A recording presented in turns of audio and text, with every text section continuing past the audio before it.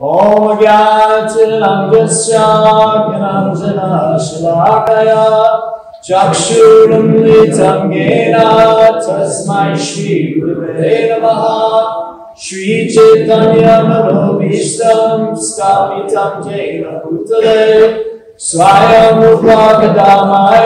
ददाति स्वापदन्तिकम् वंश कवच कृपा सिंधु वाजीतनाम वैष्णवेभ्यो नमो नमः। नमो ओम विष्णुपदाय कृष्ण प्रस्ताय भूतले। श्रीमते भक्ति स्वामी नामने नमस्ते सरस्वती देवे गौरवाणी प्रचारिणे।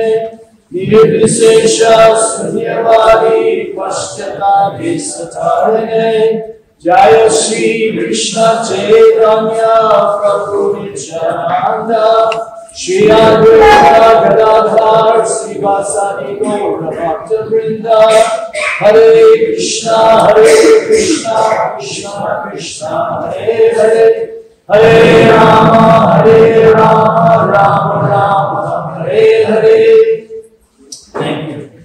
So, this Hare Krishna movement, I'm not sure, I'm sure most of you know, Someone turn off this one. but the Hare Krishna movement was started in America. It's a way of connecting everyone to God, and it actually is part of the Vedic culture. Now, the Vedic culture is East. That's you guys. It's East. But this actual movement, the Hare Krishna movement, it was started in New York, in the West. How did it get in America? That is what we will discuss tonight. Now, there was a sannyasi. Everybody knows what a sannyasi is. He's renounced. He has nothing to do with this material world. He's simply practicing Krishna consciousness and preaching. This sannyasi's name was His Divine Grace A.C. Bhaktivedanta Swami Srila Prabhupada. Now, at the age of 70, he decides to fulfill a mission, a task that he was given many years ago, but it took him a while to get prepared to do this. He was living in Vrindavan, India. Now, Vrindavan is the place where sadhus go to meditate on Krishna, to study the philosophy of Krishna consciousness, and basically chant Hare Krishna and get into their own connection with Krishna. But Srila Prabhupada, who is a name that I will say quite often tonight, Srila Prabhupada had this goal in life to fulfill a desire of his spiritual master.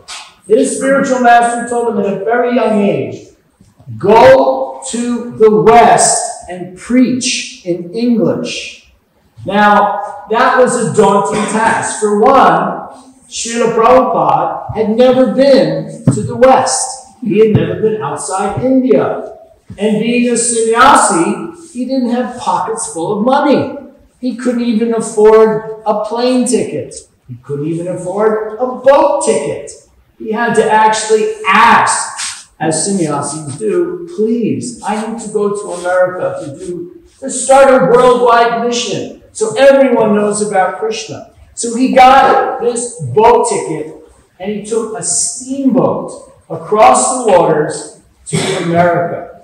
Now, this is 1965. At this time, he is 69 years old. He's not a young man. And this boat ride is not an easy thing to do. I don't know if you ever have been in a boat that goes for days and days and days, but this is what Srila Prabhupada did. Now, on this voyage, he has a heart attack. A heart attack. Now, at this stage, most people would be, I think I'm getting a suggestion here that maybe this isn't what I'm supposed to do. Why don't you just get off at the next stop? Get out of this. This is kind of too much. But Srila Prabhupada, he simply said, Krishna, if this is what you want me to do, I'm your puppet. You just make me dance. You make me do whatever you want. I will simply fulfill this mission. So Srila Prabhupada continued. He has another heart attack, a second heart attack, while on the boat. Now, most people, they would have left their body at this stage. But Srila Prabhupada, he's not leaving. Krishna wants him to do something. He wants to do something. So he arrives in America. Now, why go to America? Well, because he's supposed to preach in English. But why not just spread this movement around in India? It'd be a heck of a lot easier, don't you think? He's Indian. Everybody here is Indian. Speaking the same language, understanding the same culture would have been quite easy. He tried. But at that time, everyone in India was thinking, I want to be like the Americans. I want money. I want all these opulences that the Americans have. So they weren't even interested in their own culture. What's wrong with you people? So Srila Prabhupada had to go to America to spread this movement. But he also had a plan. He thought, if I can convince the Americans, because everybody's looking up to the Americans, if I can convince the Americans to take to this process, the whole world will take to this process. And Prabhupada was right. But many swamis have come from India and gone to America. And they made a few disciples. They would go to the rich areas get a couple of old, rich widow women to follow them. Srila Prabhupada didn't do this. He goes to a place called the Bowery. Now, the Bowery is what we call, in America, a slum. Everybody heard that word? A slum? It's like the worst place in all of New York City. Prabhupada would go for a walk on the street. Excuse me. He's stepping over drunks lying on the sidewalk. There's all kinds of abominable ugh, vomit, urine, and bodies lying in it. And Prabhupada has to walk around them just to get to his place. But the determination of Srila Prabhupada is so strong, nothing is going to stop him. Nothing. So he starts this Hare Krishna movement. Now, just saying those words in 1966 in America, Hare Krishna, everybody's like, Harry Kirschner? Um, who? Who are we talking about? Hare Krishna. It's not a common thing. Nobody has heard of Krishna. So although we have had other sannyasis, gurus come, nobody was spreading this Krishna consciousness. They would have a few select, very rich, very generous people supporting them. There were sannyasi swamis selling mantras. I'll give you your secret mantra for only $250. Wow, sounds like a deal. I get my own mantra for $250. Not a bad deal, right? But Prabhupada says this Hare Krishna mantra, it's for everybody. Not just for sale for you or for you because you have money, but you don't. Sorry, you don't get the mantra. You can have it. You have money. You have money, but you don't. You don't get it. No. Prabhupada gave the mantra to everybody. He did not care if you had a penny. He didn't even care if you were on drugs. He didn't even care if you understood anything. Huh? What? Krishna? Yeah, sure. That was the kind of people that Srila Prabhupada was attracting. In America, 1966, people were frustrated. The young people of America, they did not want to follow in their father's footsteps. You can take over my business, son. I don't want your business. I'm not into this society thing. I don't want a little house with a little fence around it and two kids playing in the yard. No, nobody wanted that. What they wanted was freedom. Free everything. Free love. Free sex. Free drugs. That's what they wanted. They wanted this freedom. We're tired of being told what to do and how to act. So the people that were coming to Srila Prabhupada were what they call hippies. Who knows what a hippie? Remember the word hippie? We don't have that anymore. There's really no hippies. Well, maybe in remote areas, but they're not like out in the streets anymore. You don't see hippies. But hippies are all into this freedom thing. And Prabhupada was saying, okay, you want freedom? I will give you freedom. I will give you freedom from birth. I will give you freedom from death, from old age, from disease. You simply chant this mantra. Nothing to pay, only the desire to become free from birth, death, old age, and disease. So Prabhupada was giving everybody this mantra. Now, so many people were taking to this. There were hmm, 10, 15 people that were actually serious, that loved what the Swami Srila Prabhupada was saying. Now, Prabhupada, he started this movement. He incorporated it. Now, 10 or 15 followers, none of them that serious, kind of serious, but not that serious. And Prabhupada says, I will now incorporate this movement. I will call it the International Society for Krishna Consciousness. Now, all his followers, they're thinking, why are we calling it International Society for Krishna Consciousness? What about the New York group of people that like God? No, that's not going to work. Prabhupada says International Society for Krishna Consciousness.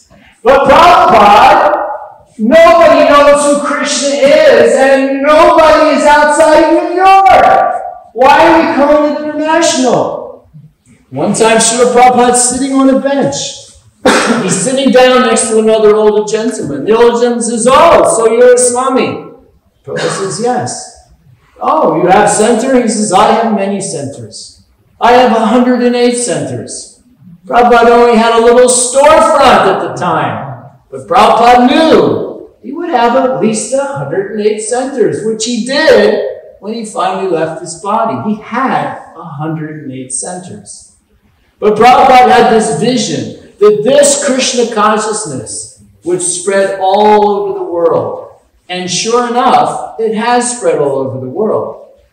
I live in Mayapur, which is the birthplace of Lord Chaitanya Mahaprabhu. Very special in this movement of chanting Hare Krishna. Now, in Mayapur, I gave a class one time in the morning. And I was very curious because I was sitting there and there was a lot of different looking people in the class. Not everybody looked the same. They all looked very different. So I was asking, I said, please, I want everyone to say where you are from. And prior to the class, 26 different countries were represented in this class. 26 different countries. People were saying, Peru, really? China, Russia, wow. Afghanistan, no, really? Well, There were people from all around the world, and it wasn't even that big of a class. I mean, maybe as well, not even as big as this. 26 different countries, all in Sri Mayapur, West Bengal, for a class on Srimad Bhagavatam. How does this happen? How does, speaking of how does this happen? Look at me. I'm from America. I'm talking about Krishna here in Kanpur, India. Come on. Tell me that's not amazing. How the heck am I? I should be sitting there going, what's he talking about? What's he talking about? But yet I'm up here telling you about Krishna consciousness. Wow. That's like a miracle. That's amazing. At least I think it's pretty amazing. I don't know how that happens. That must be some kind of special, special person, special, special mercy. And that's Srila Prabhupada. He brought this movement to America. Started out with a bunch of ex-hippie devotees, ex-hippie followers, and now this movement is in at least 26 countries that I know of, but actually it's all around the world. To tell you how all around the world is, I was in this class, and one of the boys there was from a place in America we used to make fun of. We used to say, if you're really bad, they'll send you to Siberia, because it's like the middle, the end of the earth, freezing cold. Who wants to live in Siberia? I met a kid from Siberia in this class. I said, really? We have a temple, a Hare Krishna in Siberia? He goes, oh yes. Oh yes. He was showing me pictures. The Hare Krishnas in Siberia. They go out, the snow is like this high, their heads are just barely above it. Hare Krishna! Hare! But that's how amazing this mantra, this movement is. So Srila Prabhupada, he starts this little movement. And at that time, it was a little movement. There wasn't a whole lot of followers. But it slowly gained traction. And people in Canada, other parts of America, Australia, Europe, all started to become attracted to what Srila Prabhupada was saying. Krishna is God. Krishna is the supreme personality of Godhead. And guess what? You're not your body. Um, you're telling me I'm not my body? Come on. what do you mean I'm not my body? Looking pretty good, feeling pretty good. Not my body. Maybe you're not your body. not my body. So Prabhupada's main message was that. The reason you're not happy because you're in the material world, in a material body, and you are a spirit soul that's in the body, in the material world. Now, Prabhupada gives us the way out of this dilemma that we're stuck in. We're stuck here. We can't get out. I'm stuck in this body. You're stuck in your body. We're all stuck in the material world. It's a temporary place. That's kind of scary, isn't it?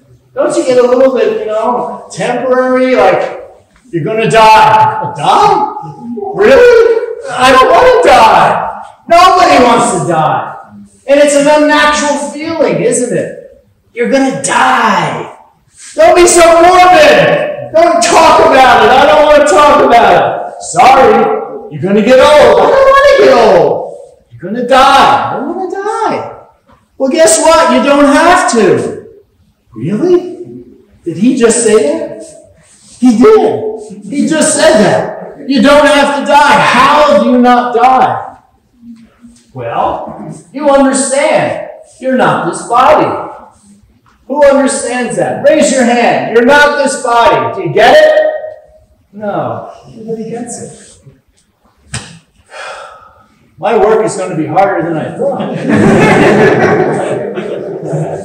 All right. So, the first thing you have to understand, and this is the most important thing about the Hare Krishna movement, is that message. You are not this body. You are a spirit soul.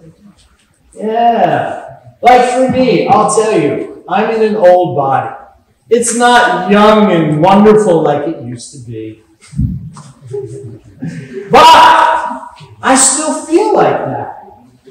And every once in a while, I, I still, like, yeah, I'm, I'm pretty good. I'm moving around. Then all of a sudden, it's like, ah, that hurt. Oh, that hurt. But I still feel like I'm a young guy. I still feel like a little kid. Hey, let's go for a run.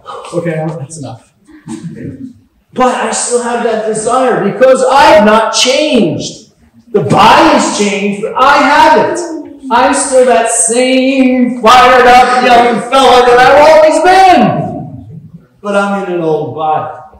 So it's kind of depressing to see that you know what? This is not going to work for you. You're never going to be happy. You're just going to get old. You're going to die. And guess what?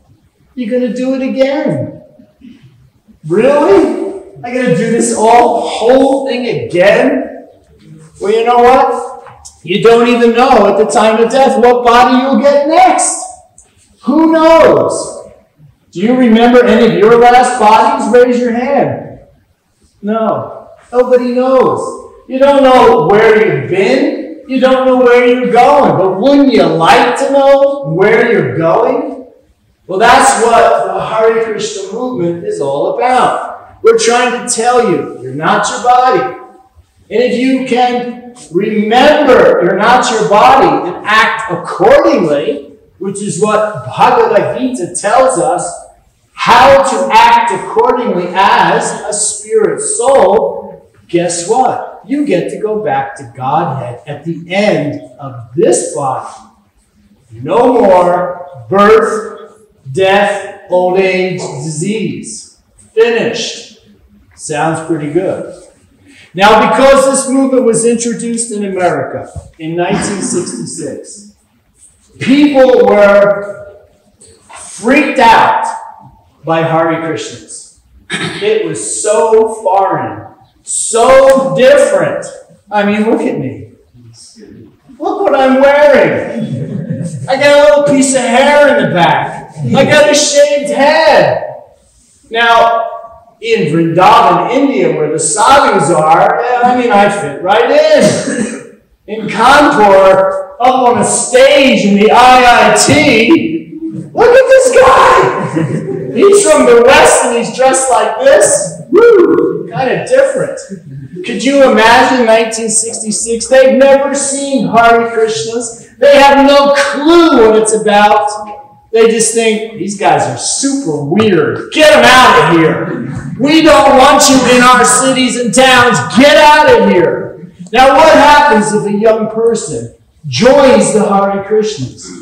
His parents are like, What happened, boy? You've been brainwashed. What did they do to you? Did they kidnap you? Well, guess what? Some parents took us to court.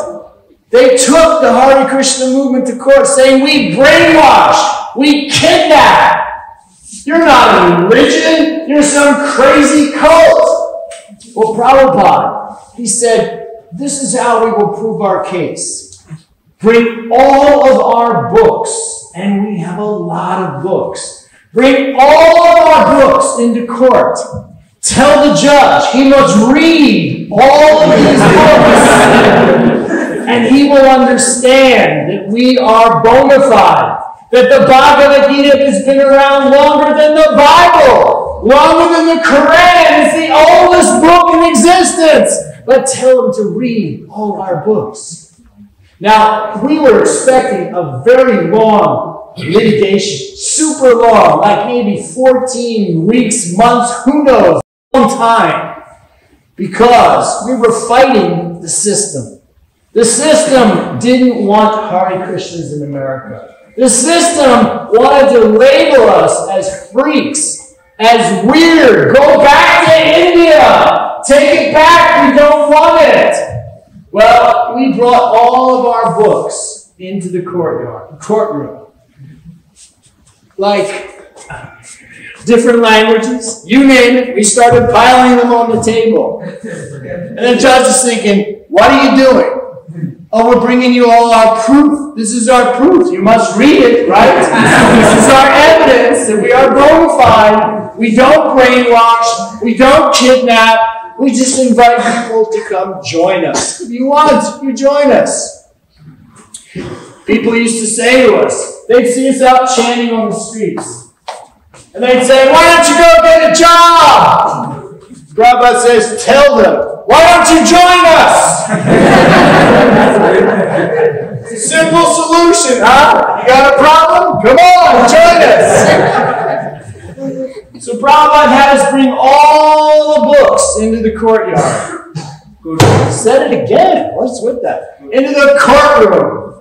And the judge looked at all the books. And he said, I'm not reading all that.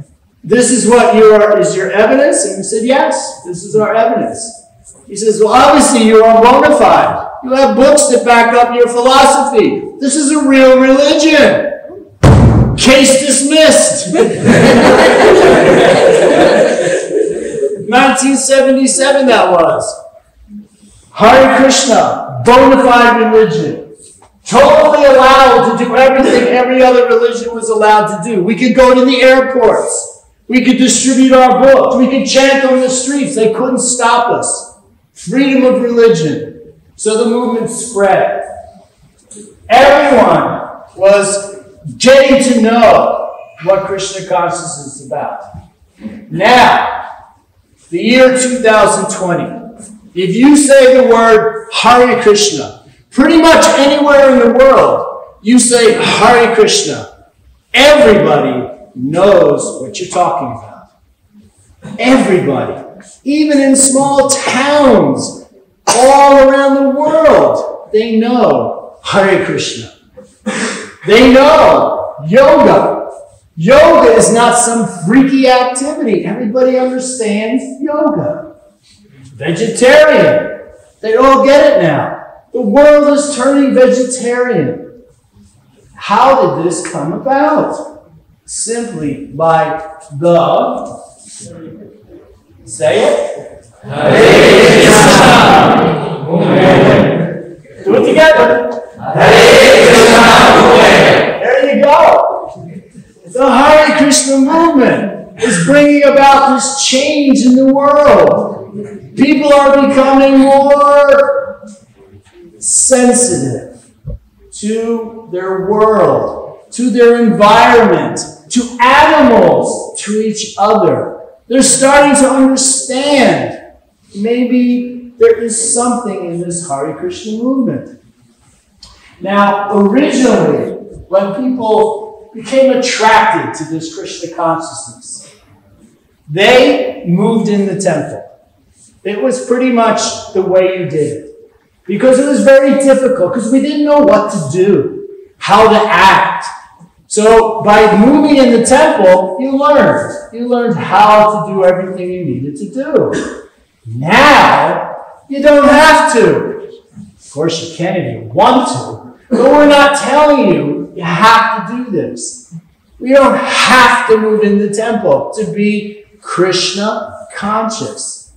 It's so easy to do. You can do it at home. There are people who you would not even know are practicing Krishna consciousness. If he didn't shave his head and leave that little hair in the back, would you know that this professor right here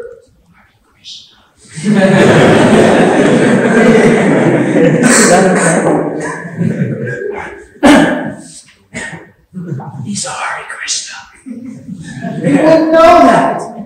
You go to a doctor and he's uh, you walk in and he goes, Oh, Hare Krishna. What? Oh, oh, he's a Hare Krishna? Yes! He's a Hare Krishna too. The lawyer is a Hare Krishna. Now in America, there's somebody running for president who's a Hare Krishna. Wow. Is that off the charts? Running for president of the United States of America. And she's a Hare Krishna. She was born a Hare Krishna. Her name is Tulsi. Everyone heard of Tulsi Gabbard? She's running for president. She's a Hare Krishna. So this Krishna consciousness has come into the whole world. It's infiltrated in. And that was Prabhupada's plan. He was saying that these books, oh, I wish I had a book here. These books are like bombs. And we are dropping them everywhere. We are dropping these bombs everywhere. These books have been translated into almost every single language in the world. There is no excuse for anybody not to have availability to these special books of the Hare Krishna movement. In 1970, Srila Prabhupada went to India with his disciples from America. Now, they put up a big sign in Bombay.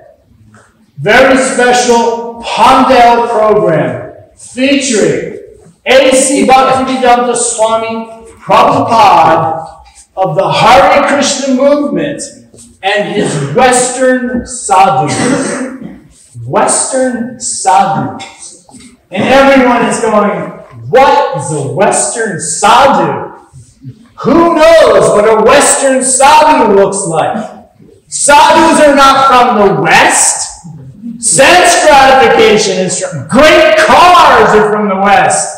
Lots of money is from the West. But a sadhu from the West?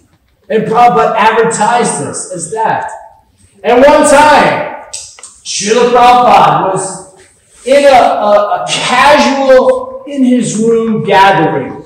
And a reporter was there. And this reporter said to him, There are so many swamis, and they are performing so many miracles, producing bits of gold in their hand, dust coming out of their hair. So many miracles. What miracle can you perform? And Prabhupada looked around the room and waved his hands towards all his disciples and said, These are my miracles. Because he has turned people like myself and so many others into Western sadhus. Now, I never grasped the fact that I was actually a Western sadhu. But you know what? I kind of like that. I'm going to call myself that from now on. Joseph Patrick Gallagher, which is my name. It's the first time I've seen that name actually posted. Joseph Patrick Gallagher. The Western Sadhu. I think I'll get some cards printed up. What do you think? Western Sadhu. Now I know that this, this means a lot. You know, after this talk, you know, I'm West with the urn on there and Sadhu. Western Sadhu. That's me. Now, Srila Prabhupada, he also had another name for his Western devotees. He called us dancing white elephants. I can relate to that. I can relate to the dancing white elephant more than I can the Western sadhu.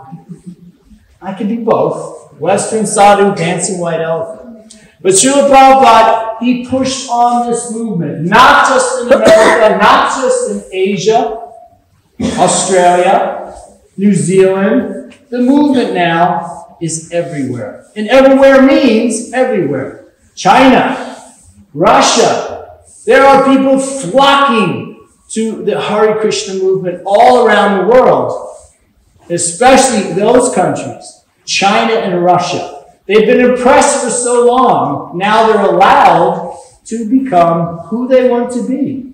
They can be a Hare Krishna if they want. We are making so many people Krishna conscious all around the world. And this is all because of Srila Prabhupada's journey to America in 1965. It started the whole thing off. And we are very proud to go everywhere and tell everybody about Krishna. Now, one of the big concerns, and mainly we're all students here, mainly, would say that, we're all kind of students. One of the big concerns for a student is his parents. We're still under the control of our parents a bit, right? So if you say that I'm becoming attracted to this Hare Krishna movement, they're like, whoa, you're going to school, buddy. I'm putting you through this university. You're paying me back later. Don't you worry about it. They're worried you're going to like, well, you know, be like me. Put on the dhoti kurta thing, shave your head, move into a temple, and say bye bye. See you later. Arnella Sadhu. They're worried about that, and they should be. But we're not telling you to do that. We're not telling you to do that at all. We're saying continue with your education. Please continue with your education. Get your degrees. Please get your degrees. Make yourself successful. Please make yourself successful. But be Krishna conscious. And that's not a big ask, is it? Can everybody do that if they wanted to? You could be Krishna conscious, still be a chemist, still be a scientist. I have an example right here. He's a he's a, a what is that do? Robotic something or I can't even pronounce it. and he's a Hare Krishna, a full-on Hare Krishna. See the little thing in the back? he's a real, real Hare Krishna. And he's been here for 18 years in this university as a Hare Krishna. So we're not telling anybody to, well, this is the motto back in the 60s in America tune in, tune out, and drop out. We don't want you to drop out of school. That's the last thing we want you to do. Trust me. If you come to Prabhu here, to this wonderful gentleman, and you say, I want to stop going to school and, go move in a temple, he's going to say, Don't do it. Aren't you? exactly. He's not going to encourage that. That's the last thing we want. We want you to stay in school. We want you to get your degrees. But here's the thing in your life, let's just say, because there's a lot of mathematicians here, let's just say, you are a bunch of zeros. How do you make that number a number? The zero doesn't mean anything. How do you make it important? You put a one in front of it. The one then turns that bunch of zeros into a pretty big number. Well, that one is Krishna. You put Krishna in front. You put Krishna in the center. And those zeros turn into a great big long number. So that's what we want you to do. Don't give up on college. Don't give up on university. Stay in, study, and follow that path that you're already on. But put Krishna in your life. Okay? Now I'm going to stop right now and hopefully we can have some discussion while I'm here in beautiful Kanpur. This is my first time in Kanpur, and if I get my desire and wish, I will come back again. Because it's been so wonderful meeting so many wonderful, wonderful young men and women. And there are certainly a lot here in Kanpur, especially all of you students um, one time in a lecture, Srila Prabhupada, and I always refer to him because he is my spiritual master, he is my guru. He gave a talk and he asked for questions. And the audience all just had this blank look on their face. And Srila Prabhupada, turned to the devotee sitting next to him he said, No questions means no intelligence. So, do we have any questions? Anybody? There wasn't one thing I said that you want to say, wait a minute, or there was not one thing I said you would say, hold on, I have a question about that. All right, I'm out of here. really? Is that easy? I can go? We don't have any questions about the Hare Krishna movement. what time is it? Oh, it's 7 o'clock. Then we can continue. Uh, do you have any questions? They're all surrendered souls. Pretty easy. Uh, probably you can uh, talk about a little more about the movement. About the movement. I got off track. So the movement is, is flourishing all around the world. The movement is changing the consciousness of the world. As we stop the slaughtering of animals, people are becoming more conscious of being vegans, vegetarians. People are being more conscious of the different bad things that happen when you're not Krishna conscious. The wars, the famines, the natural disasters, these are all happening because we're failing to understand the source of this whole world, the source of us, and that's Krishna. If we could tune back into that, all these things would be stopping dramatically. I don't have a whole lot more. I'm sorry. All right, hold on. We have a question. For Why is it so important for students to be Krishna conscious? Well, I think I kind of already said that in the fact that your desires are to become somebody in the material world. correct? I mean, you want to be, what, what is your goal? What did you want to be? Why are you attending this university? Let me ask you. Why are you attending this university? I, I want to get my PhD in In computer science. In, in computer science. computer science. So you have a desire to earn your livelihood with computer science, correct? Yeah. So now you are going to one of the best universities in India to obtain that degree so that you will be successful. So why should you want to be Krishna conscious? Because if you get that degree, if you get that great job, what's the goal? What's the finish line for that? You're going to get old, you're going to work really hard, and then what? By becoming Krishna conscious, you can still do all those things, but there's a goal at the end. And the goal is to go back to God. It's not to stay in this material world in the nicest house, drive the nicest car, and have the most money. And when you go, you leave this body, what happens to all that? You don't take it with you, correct?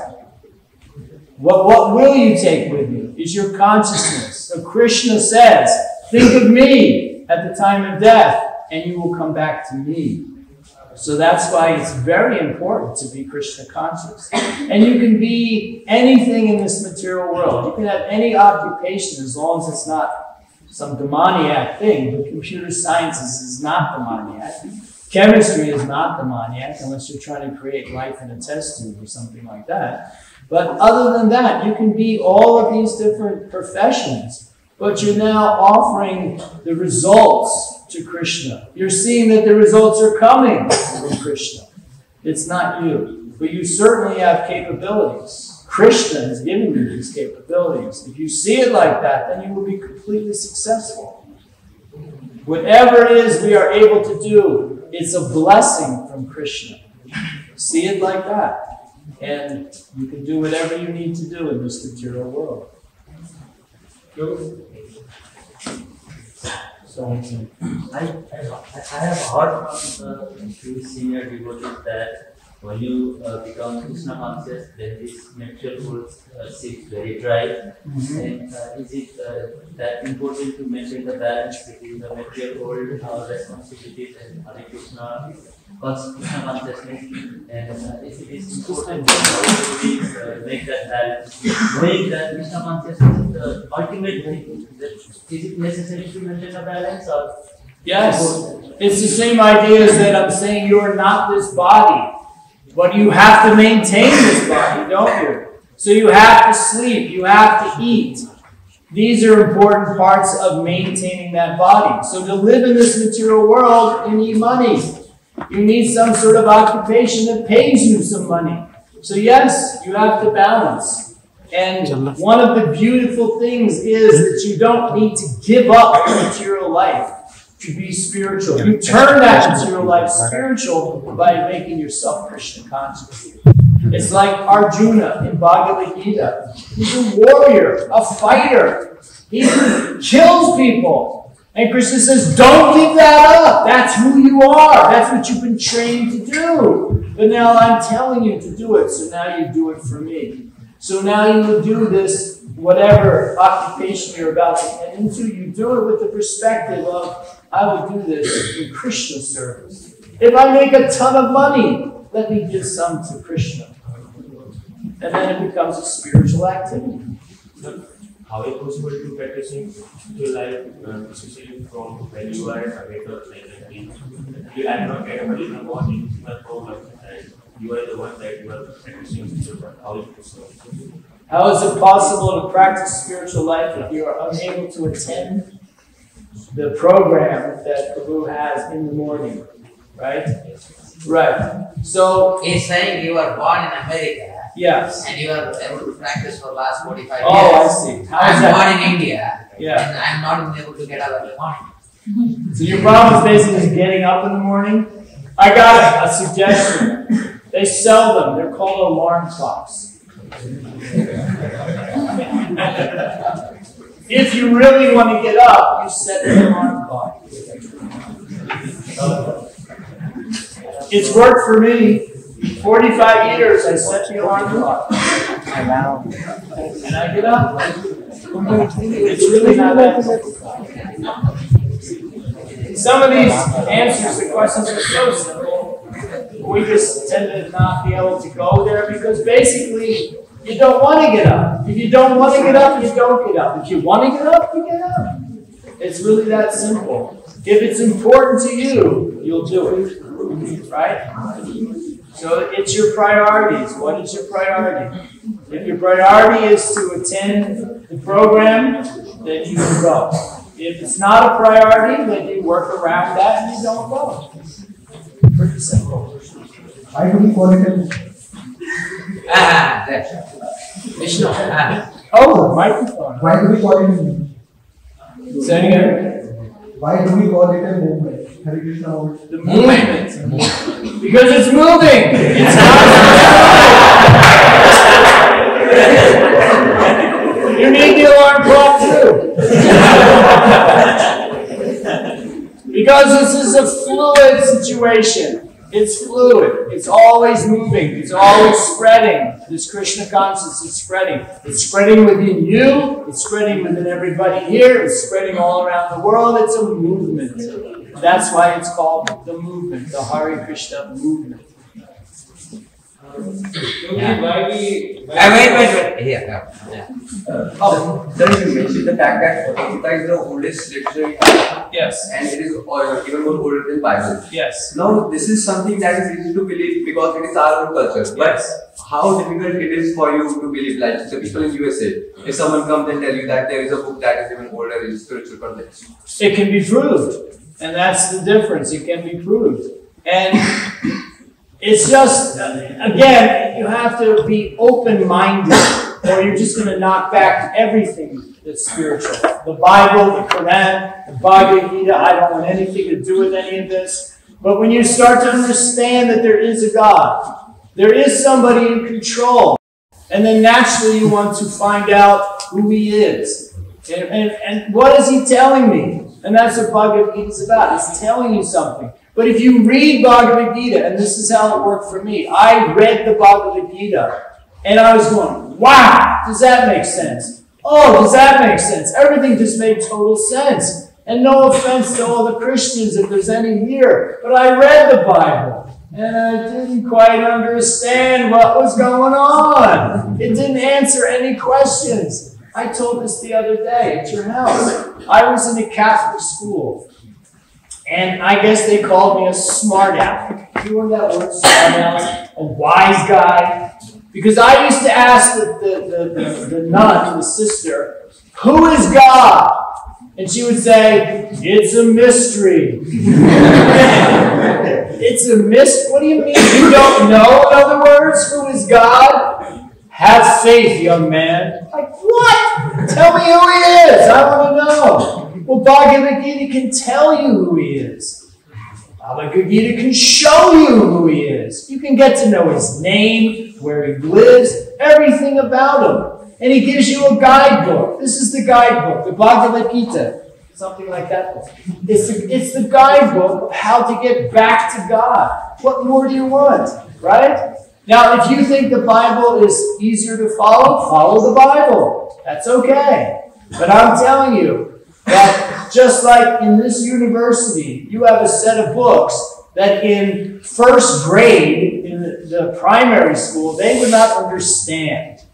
Similarly, the Bhagavad Gita is a little more in depth, a little clearer. It's not your basic don't kill, thou shalt not kill, and they still don't get it. You're not supposed to kill. So that's why Bhagavad Gita is kind of special. Ah. Okay, the question is Have you ever felt that you missed an average American life? If not, explain why.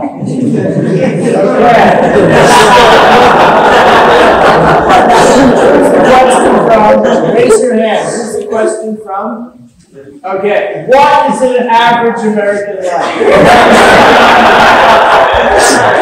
Obviously, you have something in mind, and you want to put that down. Tell me what I missed. maybe I should go back and get it. What is an average American life?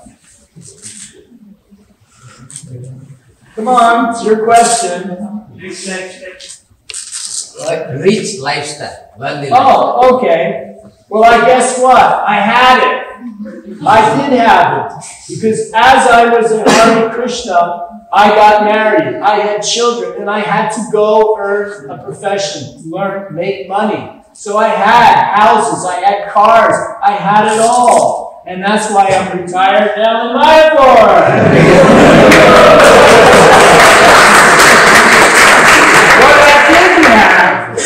the kind of job that after it's done, I go home and I drink alcohol to settle me down. I didn't have that. I'm sorry.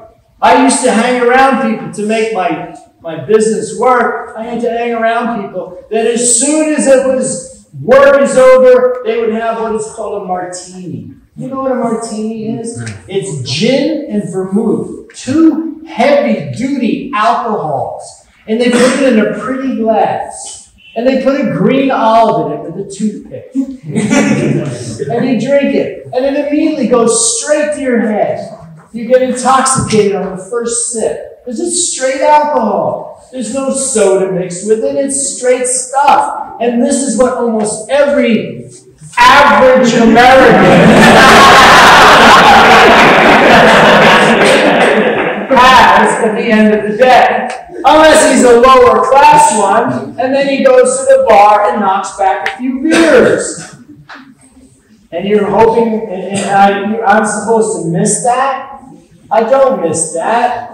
And why don't I miss that? Because at the end of my day, I do kirtan. I chant Hare Krishna. I jump up and down like a, well, you know, like a young guy. Still doing it. 45 years later, I'm still tasting this ecstasy. I have never had a Hare Krishna hangover. That's a joke. I've never had that. New Year's Eve in Mayapur, we have kirtan till midnight at night. Then we have a big feast. That's how the Hare Krishna party. That's how we party. Meanwhile, outside, people go to the bars and they get drunk and they're thinking, I'm going to have a great time, and they don't have it. It turns into like the worst night of their life. So, average American life. Eh, not happening. Okay. Next question. How does the book publishing begin? I heard initially ISKCON is deprived of many of which organization published books first. Is, ISKCON is deprived of money, I'm sorry, of money. Which organization published books first? Is that like, am I supposed to say the BBT? Our, we, we have our own uh, printing. It's the Bhaktivedanta Book Trust. And they print all the books. And all the books are printed in, I don't know how many languages now, 92 languages or something. Something. Yeah, I, I was just uh, getting an account that our BBT has published more than 64 crores, that means 640 million books. 640. In 1977, we were up to 44 million, I think it was. So now it's up to 640 million million books. books. So there's a few of Prabhupada's books out there, which is really nice. We're very happy about that. Okay, Next. This is neat. All right, there are different processes of meditation, but how it differs, but how is different. Meditating on Krishna, how is different? Meditating on Krishna and meditating being Krishna conscious. Okay. I, I mentioned this the other day that a young hippie girl in uh, New York City in 1966 asked Srila Prabhupada, Are there many processes to go back to Godhead? And Prabhupada said, No. Just like when you eat food, you must put it in your mouth. You cannot put it in your ear. You not put it under your arm. You have to put it in your mouth. So there is one process to go back to God, and that is by remembering God. Now, even in the Christians, and probably I don't know the Muslims, but they say, "Hallowed be the name of God." That's in the Christian religion. And in ours, in the Krishna consciousness, we say chant Hare Krishna. Krishna is a name for God. He's all attractive. Krishna has millions of names, but that is the one name that we use to chant the Hare Krishna mantra. Okay? How, how would you differentiate, differentiate between a conscious one and a Krishna conscious one? conscious means Krishna conscious. It means Krishna. If you're not Krishna conscious, how are you conscious? What are you conscious of? You don't understand you're not your body. You don't understand there's a supreme God. You don't understand any of that. So conscious means Krishna conscious. Can I make Take it away. Yeah.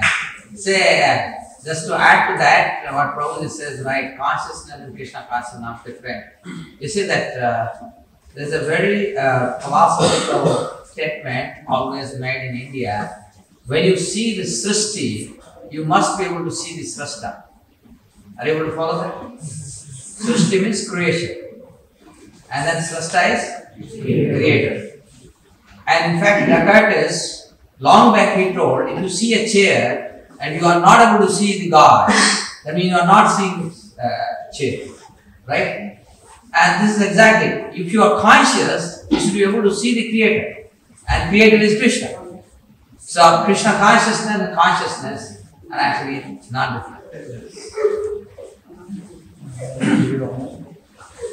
How do you know that we have achieved the Krishna consciousness like it is possible? We think we had achieved it and died, but we again took a birth. How do you know that? Is there a way we can ensure its achievement? Trust me, when you are 100% Krishna conscious, you will know it. There's no doubt you will know it. If you're thinking, am I or aren't I, obviously you're not. Because once you are 100% Krishna conscious, you are able to see Krishna. You are able to see Krishna. Right now, we can't see Krishna because we don't have the purified eyes to see Krishna.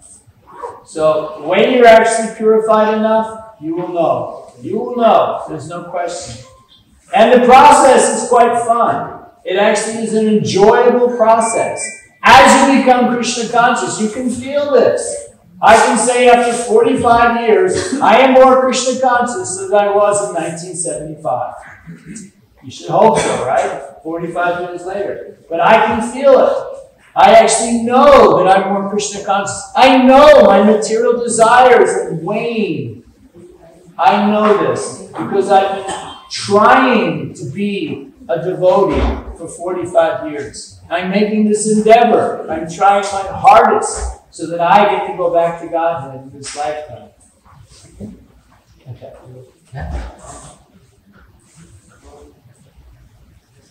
Okay. When we are told to do something by our authority spiritual master, but that sometimes seems not to be possible or difficult when we think of it. And there may be a chance to disobey him. Sometimes I become completely fearful. How to overcome this situation? I'm going to let Boo here answer that question. we didn't mention any names here, which is really good. He didn't sign it. Who just ran out the door?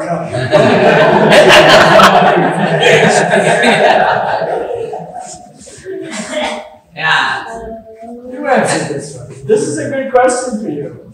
Uh, actually, uh, if you are told something to do, the, the, the authority or the teacher knows your ability.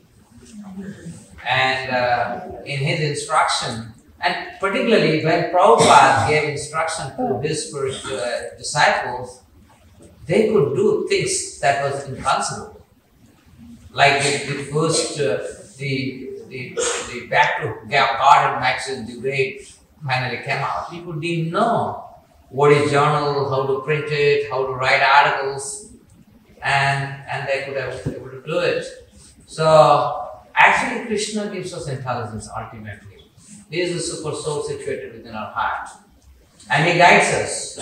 But that process is mediated through the ascent spiritual master. And uh, that is how we need to see. There is no need to become fearful. And uh, in fact, if you think that there are some questions to be asked, you should be very uh, bold to take more suggestions because you are doing things for Krishna. And in fact, we really don't say that you do this. As far as I am concerned, uh, Prabhupada told me to give that answer. I am concerned, I always say what Prabhupada wanted us to do. Uh, because I don't think that I have a dream that Krishna has put in my brain. No, uh, we see everything through Prabhupada's books, Prabhupada's vision, and whatever Prabhupada wanted, uh, we want to fulfill those ideas. And that is how we try to tell each other, this is what we should do. I don't think that there should be any fear if we are not able to do something. No. And actually, somebody asked me this question since I've been here, this exact question. I just can't remember who it was. But I answered it pretty much exactly like that. That sometimes you are asked to do something, and you may think yourself, I can't do this. And I've told this story that most of you might have heard. That you will then pray, please empower me to do this. And also, the uh, person asking you is not going to ask you to do something he doesn't think you can do. Right? And, and with that instruction comes the empowerment if you surrender to it. So, yeah, I mean, when we have authorities, they're there for a reason. They're there to guide us. And the guidance is through their knowledge of who you are and what you are capable of doing. So, probably you're not going to be asked something to do that you absolutely can't do. It's probably not going to happen. And the fear thing is just, come on, really? You're afraid of this guy? okay. Uh, this is such a basic one. Okay, I like this stuff. Thank you for reading. How to make Krishna center of my life. All right, I have to ask, who, who wrote that How to Krishna center. Do you want Krishna to be the center of your life? You really do. Okay, so that sincerity is step one. Step one. Then you have to look at your life. How can you bring Krishna into the center of your life? It's doable for everybody. But it doesn't mean, just like with Bhagavad Gita and Arjuna and Krishna's discussion, Arjuna needed to do what he does, but be Krishna conscious about it. So, like if you are a student, you need to study. You don't just sit there and, oh, I'm just going to chant Hare Krishna all day long, flunk out of school. No! You have to be conscious of Krishna, that I am doing this to get an occupation so that I can be comfortable in the material world while loving and serving Krishna. So it's just a, a mindset and a sincerity of your heart. If it's in your heart to become Krishna conscious, then Krishna will make the arrangements for that to happen for you. Good question.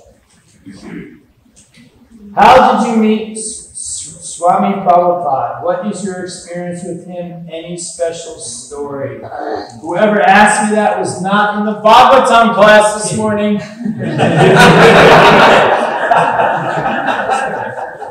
Who asked me that? Who, who wrote this one?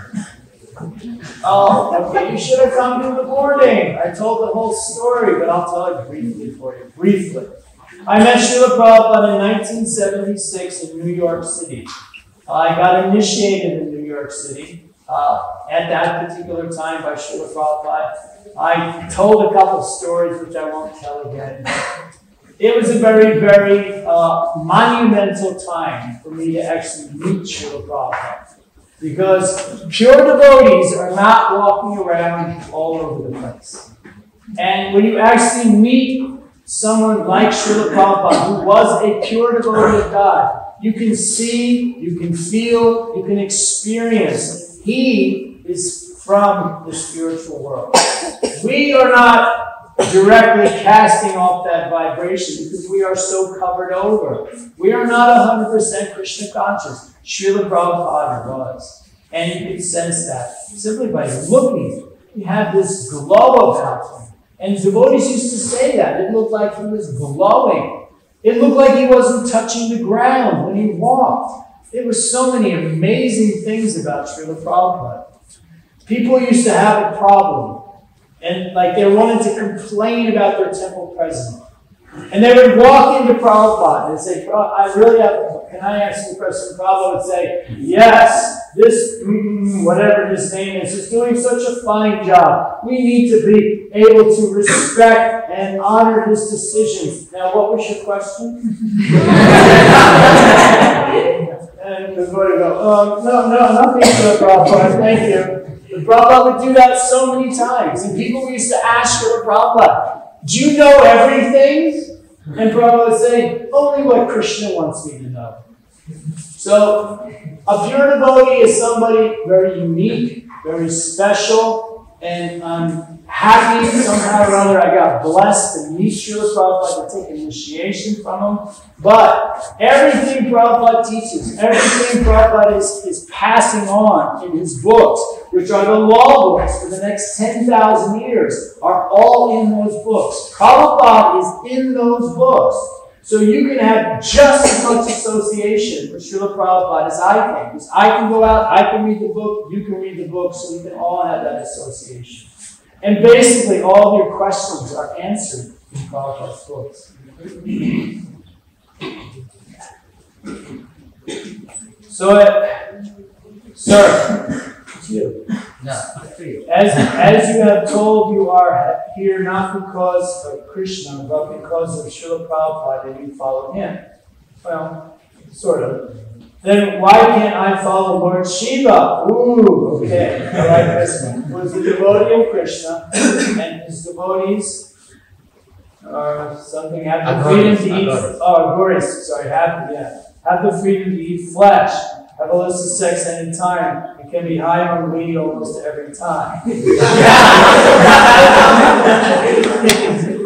All right, who, who wrote this one? really? That's you really believe this? You're okay with that? Then you're good. I have nothing to say. I'm not going to get into a discussion. Seriously. It's, it's your desire to do these things, then yes, Shiva you should worship. But Shiva is a devotee, the greatest devotee of Krishna. But Shiva's job is to help bring people closer to Krishna. And the people that he is bringing closer to Krishna, they eat flesh, have illicit sex anytime, and can be high on weed almost every time. So that's the people that Shiva is helping along. But it's still going to take you a while to go back to Krishna by following this process. But that being said is better worship Shiva. At least you're worshiping somebody. But I don't. That's my first time I've ever been asked a Shiva question. I'll be honest. Uh, but, but, uh, uh, yeah, see, uh, just to uh, just to add what Prabhupada said is that Lord Shiva is the best among the Vaishnavas. He is a perfect servant. Even Mother Parvati cannot agitate her him sexually. He's so fixed. More than that, Lord Shiva is father of this material universe. Although he owns the entire universe, as a father, he doesn't accept even a palace to live. Every day, under a bay tree, Prabhupada says, he speaks on Bhagavatam. And the greatest of Paramahansas, they come and hear Bhagavatam. Bhagavatam is about Krishna. That's Lord Shiva. If anybody knows Lord Shiva, then they will do what Lord Shiva is doing. And to say that he is sex, flesh eating, this is not even human. This is animalistic. Okay? But then, Lord Shiva is very magnanimous to accept even the devotion of such people. And he purifies them slowly. That's the point. But those who know Lord Shiva, Shiva Tattva, Shiva Tattva means it's a completely purified state. Shiva. Shiva means absolute pure. So in purity, there cannot be illicit sex, flesh seeking. No. Is that clear? Thank you. So, question. Oh, Okay, okay, okay, okay. I'll do that one. Yeah.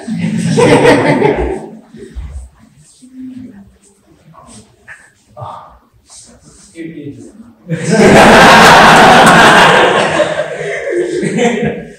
Who is correct among Bhishma and Karna? Whose question?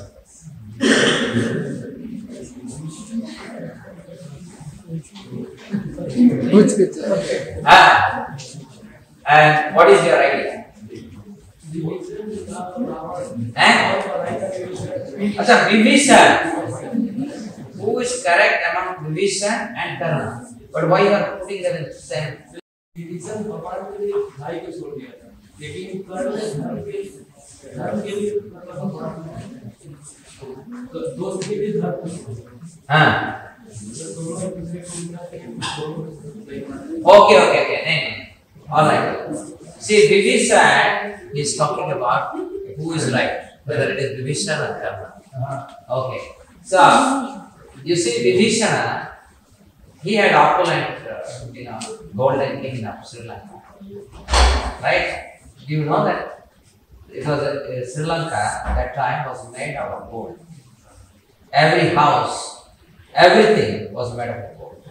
Swarna Lanka. That's how it was opulent. And uh, uh, he left those opulence and came to surrender to Lord Ram. So anybody who surrenders to Lord Ram is right always. Okay? Because ultimate goal is Krishna. Whereas Karna was given opportunity to surrender to Krishna. He didn't. He sided with Duryodhana. Duryodhana question. Huh? So what happened ultimately? Vibhishan became immortal. Now you go to Jagannath temple, you will find there is a place by which Vibhishan every day comes and takes darshan of Jagannath in Puri. Okay? Whereas Karna was annihilated because he sided with wicked person. So it's not a rocket science to understand. Anybody who's Krishna said in Bhagavad Gita, Sarva Dharman Parityajya, Mam Ekam There is no other dharma. The only dharma is that you must side with what Krishna wants. Did you attend Bhagavad Gita course? You attend. What did he say there? Confuse about. We said no, Krishna has a free will, right? And what is that free will? It prevails. That is meaning of God. God wants something that will happen anyway.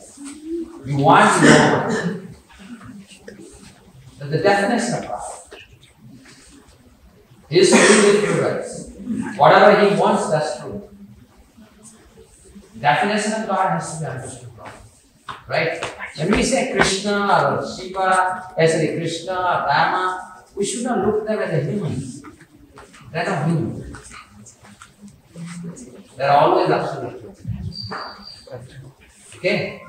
So Vibhishana surrendering to Krishna, uh, Rama, or Arjuna surrendering to Krishna, they are surrendering to absolute. Okay? So here another question. Okay. Would you like to? do this? Okay.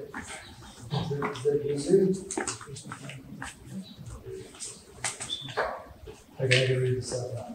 Does Krishna consciousness make you free of materialistic relations like that of mother, sons, and father? Does it make you forget all you loved ones who have lost? It makes me worried because of these reasons. Well, that's kind of an easy one too. That these relations are something that are not permanent. Who asked you.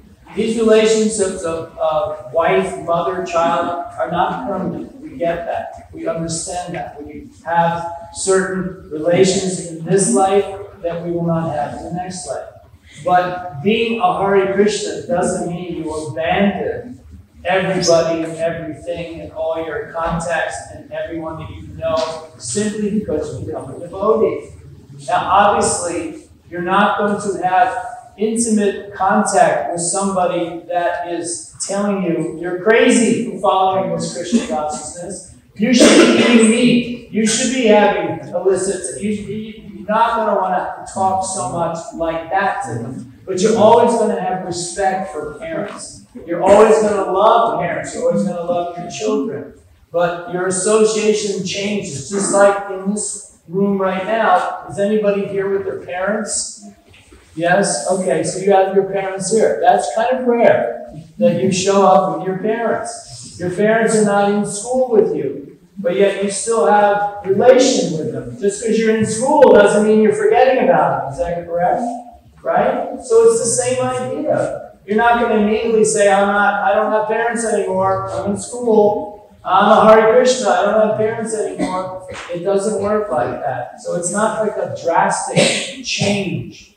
You know, just like you go to school, you leave home, you're in school, you're by yourself. You don't forget your parents. You don't say, That's it, I'm in school, see you later. so it's the same idea. It's not like this. I- I'll just uh, Yeah, go give for a couple of examples. In my case, when I accepted uh, uh, the principles of Bhagavad Gita, my parents in the beginning were not very favorable. But then, slowly they understood what I'm doing is right. They also understood that I care for them because I brought them and settled them in Vrindavan. My father and mother are living in Vrindavan for the last 20 years. And they are given all kind of support. Probably they would not have got that, got that support if I would not have become Hare Krishna. In fact, our relationship becomes much more intimate and personal when you become a devotee. Because becoming a devotee makes you a better individual. So where is the question that you will neglect your family members or this or that? You become better well-wisher, better carer, better servant. In fact, you become much more sympathetic, uh, sorry, sensitive as well as empathetic to, to their point of view. Okay? In fact, when you are not a devotee, you will mostly act in the part platform. Only you will leave the relationship with my partner. I'll tell another of my friends. Uh, he is a professor in IIT PhD. We all, both of us, became devoted to this. And he was telling that when his mother-in-law died, expired, and this happened in uh, um, in Banaras, and uh, they went to Manikarnika Ghat to cremate, and all the family members they have come, and all of them they're simply talking. Oh, I have to catch a flight to America. Oh, I have a you know. Nobody's actually mourning for their mother. Even the sons and daughters, they're not really mourning. They're simply thinking how they can go back to their work. And they just want to finish their uh, cremation. And he was graphically narrating the whole episode, and he was laughing. You see, and as he was telling that his own wife and everybody else, because he was married before he became conscious, and they were always critical about him. And then he was showing the real face of his people. They say we are really devoted to our family members, but this is what are they. Okay? I also have um, children that are not Krishna conscious. They decided to stop pursuing the Krishna conscious life. They're still my children. I still talk to them. Obviously, we don't talk about Krishna, but we still have a relationship. So it doesn't stop simply because you become a Hare Krishna. I have to read this one. Hmm. This is so nice. Did you write this? You did? Oh, very nice. It says, Hare Krishna Prabhu, you are very funny. My question is, I love this. What is your favorite food? That's a tough question. Man. My favorite food is usually what's in front of me. Does that make sense? Whatever you give me, I'll love it. One thing about prasadam, and does everybody know that word prasadam? Right? It means So food. that, just a moment. Please be here. Prasadam will reach in 10 minutes here. Oh. So you'll be given full prasadam. Okay? In 10 minutes, so we can continue. So I guess nobody will be leaving in the next 10 minutes. Because if you, you understand what prasadam is, prasadam is something that's been offered to Krishna or offered to whatever deity you are offering to, but it becomes prasadam, it becomes sanctified. And there are different tastes in prasadam. But prasadam, even if it doesn't taste good, it's still good. Prasadam is always good, even if it doesn't taste good. I like pizza, by the way.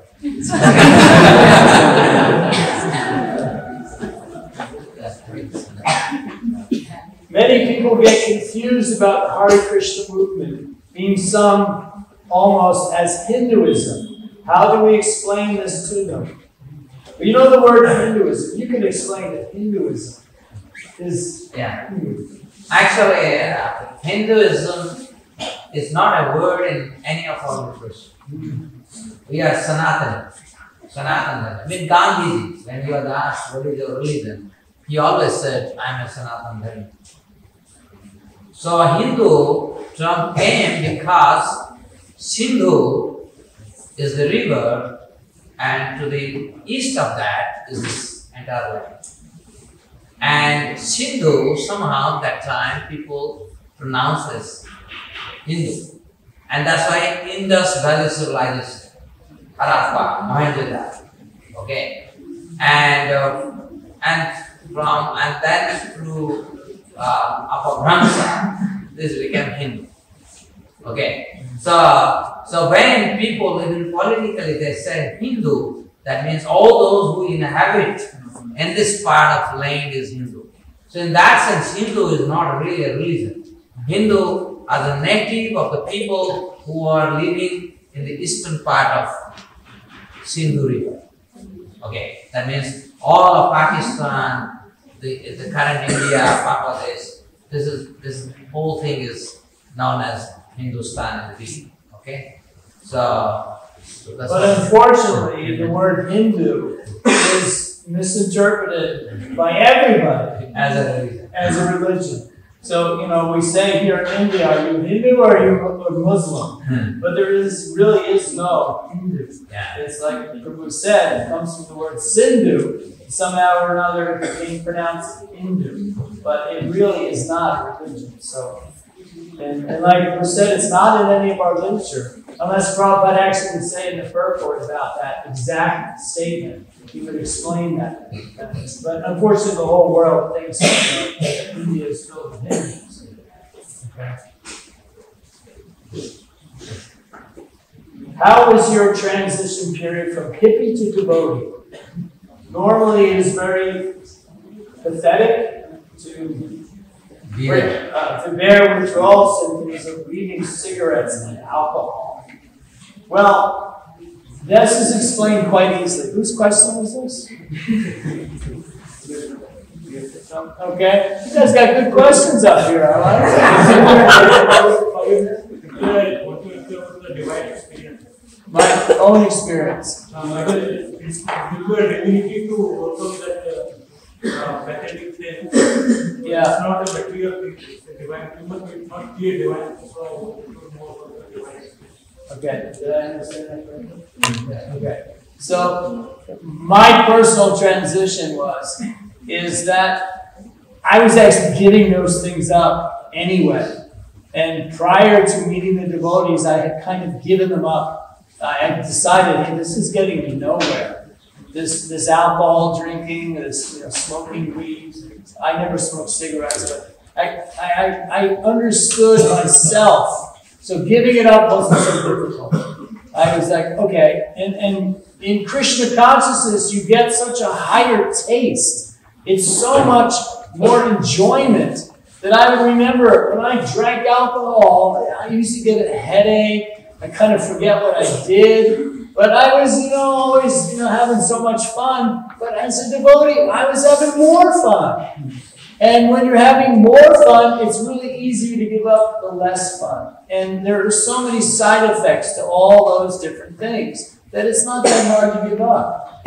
So with the higher taste, you can give up a lower taste. Without the higher taste, then it becomes, like you said in the question, it's very difficult just to say, okay, I'm going to give up cigarettes. But what are you replacing it with? You have to replace those, those things with something else. And Krishna consciousness gives you those something else's. And it helps you forget the lower taste in life.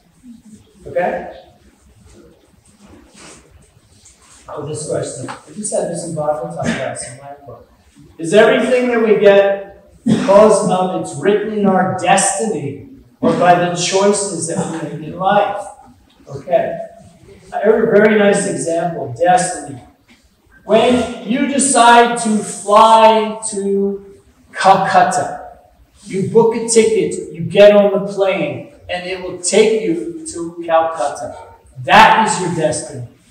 While you're on the plane, you can look out the window, you can eat, you can read a magazine.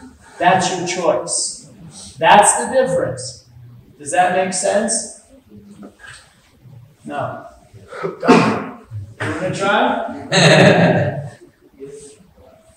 the destiny is that you will get on the plane, it will take you to your destination. But while you are heading to that destination, you have to make so many different choices. So your destination is there. You are heading where? Back to Godhead. Eventually, yes. Your choice will help you get there quicker, easier. But if you make the wrong choices, then that destiny will take a lot, lot longer. Okay? So your destiny is always to go back to Godhead. That's where we're heading. But your choice will determine how quickly you can get there. Whose question is this? Uh, can you raise your hand? Oh, good question. As a Komal. Yeah. Riya. Yeah. The, uh, so actually, uh, this is a good, uh, good question. So I, I will today. Yes. So you see, our destiny is already made based on what all we have done. You have got a human body. That's your destiny. You are born in a particular family. It's because of this. You didn't select it, is it? Did you select your father, and mother? You didn't select. Given a choice, you would have selected probably Ambani or Bill Gates your father. You are, you are not given a choice. So by destiny, you get your father, mother. By destiny, you get your education. By destiny, you get your uh, wealth. Okay, this is what what I do, and what is your current action that adds to further course of the destiny. Now you are a human being.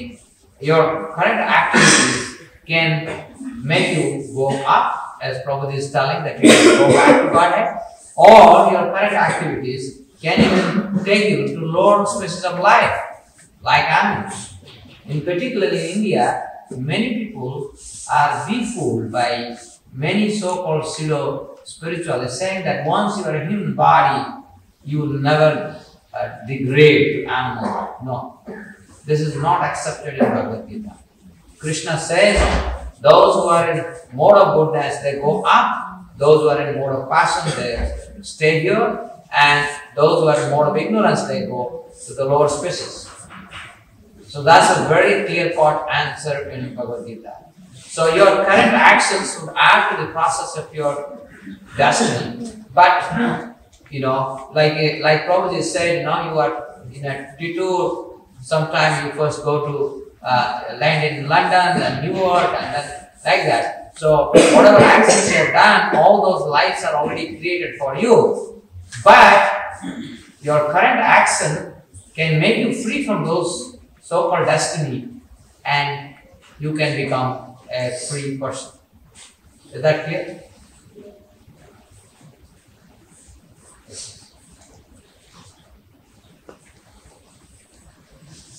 Again, there are so many philosophies available around to us today, so many versions of Bhagavad Gita. How to know which philosophy is bona fide? Well, the Bhagavad Gita question is very interesting. Because I think I mentioned tonight that prior to Prabhupada's Bhagavad Gita as it is, there were several versions available in America. And anybody could read. And people in universities and educated people were reading Bhagavad Gita.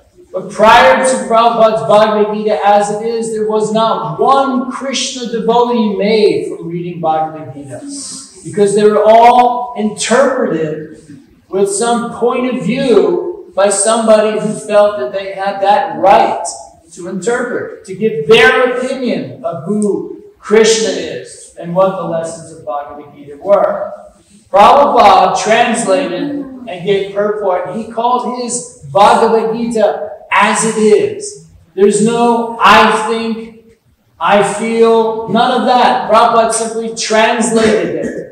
And the whole idea is of this Bhagavad Gita is to understand that Krishna is the Supreme Personality of Godhead. He is the one that's in Bhagavad Gita. He is the main character of Bhagavad Gita. And if you can understand that, then you've understood the real purpose of Bhagavad Gita. Yeah. Something else? How to know which philosophy is bona fide? Well, I like an American expression. The proof is in the pudding. Have you ever heard that? The proof is in the pudding. You taste it. You taste that philosophy. Does it work for you? I tasted this Krishna consciousness and it worked for me. But I always say, if somebody has something better, let me know. I'll do it. If it's better, I'll do it. But as far as I have seen in my 45 years of being a Hare Krishna, there's nothing better than being a Hare Krishna and following this philosophy. It's pretty simple. I think that's it. Yeah. Any other question? Oh, good one. You talked about sadhus. Who is a sadhu? But obviously in Concord, there's not too many sadhus. Sorry. there's not a whole lot of sadhus, but a sadhu is a wise man, one who understands the purpose of life, who understands who God is. That is a sadhu. And by calling us Western sadhus, Prabhupada was simply making the point that anybody, anybody can understand God. It's not by birth. It's not by any qualifications. It's not by any degrees. It's simply the surrender process. And all Prabhupada's disciples, they surrendered what Prabhupada was giving them, Bhagavad Gita as it is. They surrendered to it. So Prabhupada was sort of having a play on words, saying, my Western sadhus. I mean, obviously, we're not sadhus, but we are followers of this Sanatan Dharma. And it does bring about the best of everything in you because you understand how to act, how you should be, and what the goal of life is. So I guess in one way we are sadhu. Yes. Yeah. Uh, he's very humble not to say that I'm not a sadhu, but he is actually a sadhu. And we are very blessed to have a sadhu with us. I like the dancing white elephant. So- One more? Two more. How to balance time for job studies and services. Okay. Who asked that one? If I haven't spoken to you about this yet, okay. I've been asked this question probably 10 times in the last two days. How to balance this. It is so difficult for you. I get it. But you're a student, right?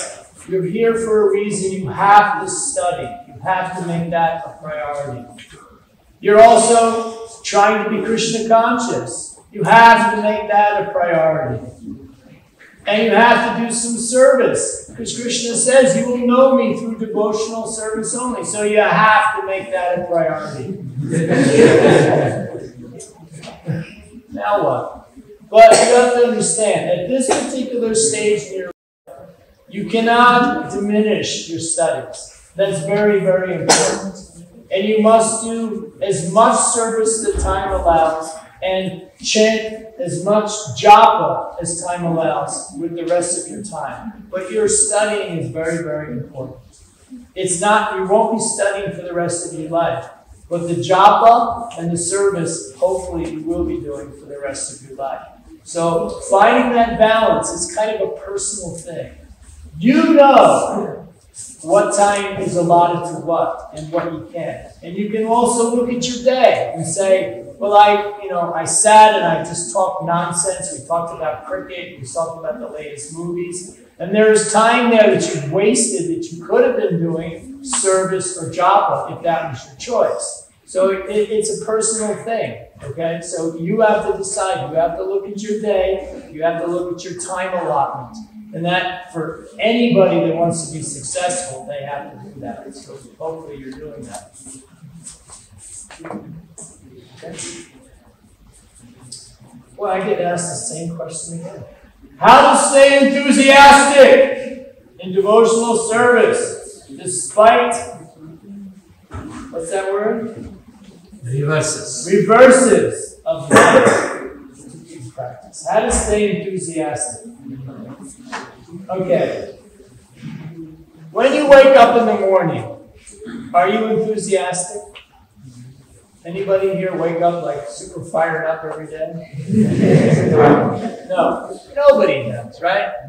But it's a slow process. You get up, okay, you have a shower, water hits you, wake up. Next thing you know, you're doing something and the enthusiasm starts to happen. Well, basically, that's what we're doing. On our path back to Godhead, we're doing that. We're getting splashed with some cold water. We're in a speed bump. We walk into the wall. We're not quite awake. But we keep going. We don't stop. Now, if your goal is to go back to Godhead, now that should be everyone's goal to get back to Godhead, because that's really what we want to do. We don't want to stay here. So if I tell you you want, say you want to go to Calcutta, and I'm going to give you a ticket to Calcutta, and I'm going to tell you the flight's at 2 o'clock. At 1.55, you're still at home going, mm. you're going to miss that flight. But if I say, look, you've got a ticket, it's at 2 o'clock, you're going to go, all right, woo, I'm going to go, I'm going to get this ticket, I'm going to go fly. I'm going to be, why all of a sudden you're enthusiastic? Because you're going to get that goal that you wanted. You're going to get to Calcutta. So think of it that way. You're going back to Godhead. Are you going to be enthusiastic about that, or are you just going to go, oh, all right, you know, if I go, I go. No, you're going to be like, yeah, what do I need to do? Where's my bag? I'm ready to go. Let's go. My ride? Come on. All of a sudden, that enthusiasm comes. Where did it come from? Because you start to sense there's a reason why I want to do this. I want this. I'm going to get excited to get it. And that's how you should be. You're going to go back to Godhead. Follow this process. Go back to Godhead. Who's with me? Let's go. Right? So you want that enthusiasm because it's a, it's a tangible goal to go back to Godhead. Prabhupada has given us a process to go back to Godhead. Doesn't that make you enthusiastic?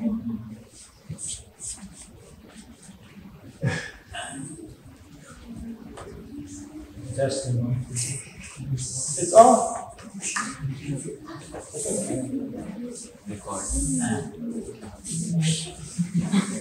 Okay, I think that's it.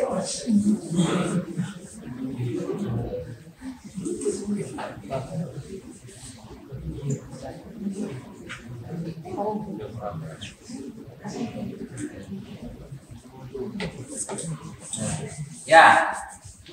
Any other question? Going once, going twice.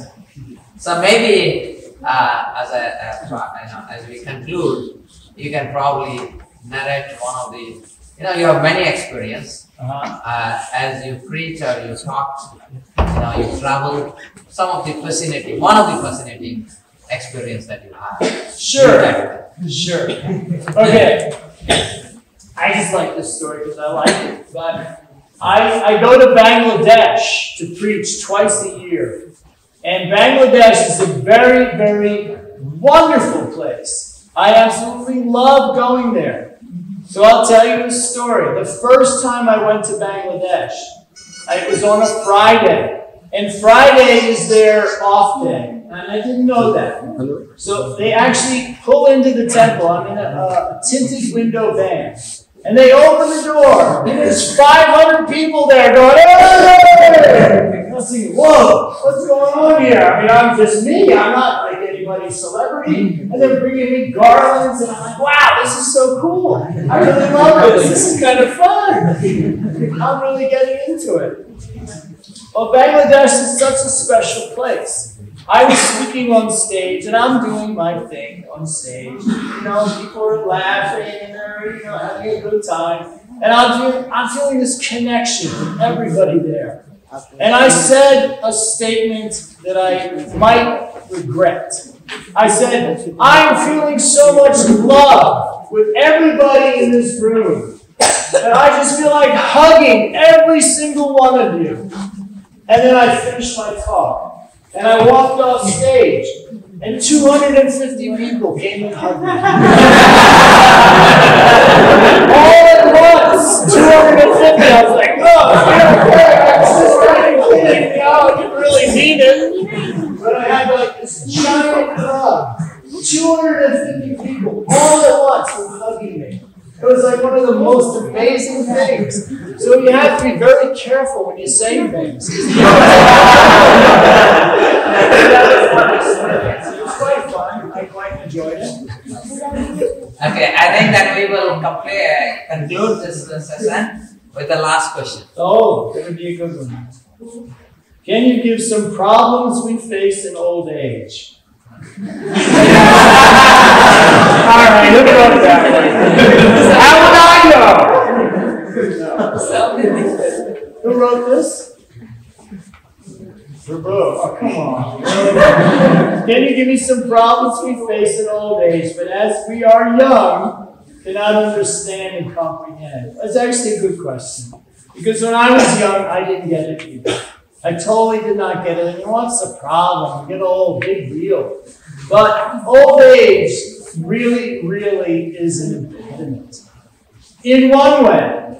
And in another way, it's actually a boon, a real boon. A real boon. Because you just can't do some of the nonsense things you want to do. And it just, I can't do it. Why am I even bothered about it? But it's actually very difficult because no matter what, old age brings pain. And it brings some suffering that you don't get as a young man. Staying, I'm taking prasadam with the Buddha. He's bringing me this wonderful, wonderful, different courses, so many different things, and I'm going, I can't eat that. I can't, I can't eat that. I can't eat this. My stomach's saying, you can't eat any of this stuff. It's got your spices. Your stomach doesn't handle spices. When I was a young man, I'd be like, ah! Just wolfing it all down. Now I'm an old body. I gotta be careful what I eat. We have kirtan. We're in Prabhu's house. Everyone's jumping up and down. I go like this and I to the back. That's old age.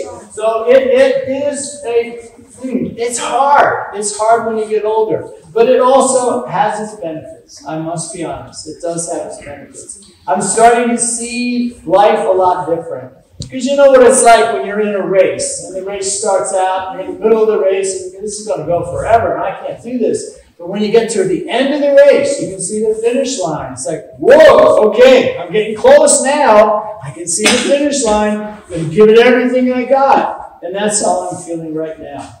I'm seeing the finish line. It's not that far away from me.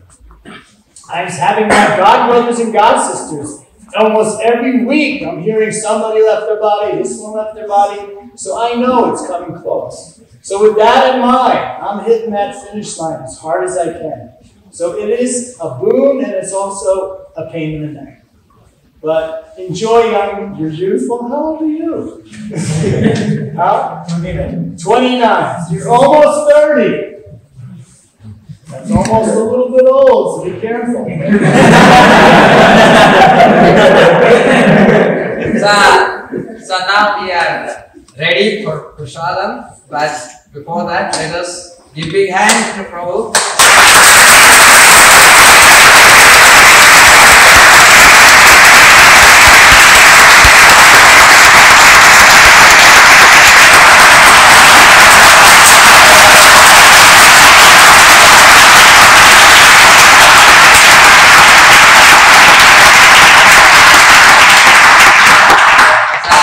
Hope to see you many more times and uh, uh, and hope to see that uh, all of you again coming and interacting with.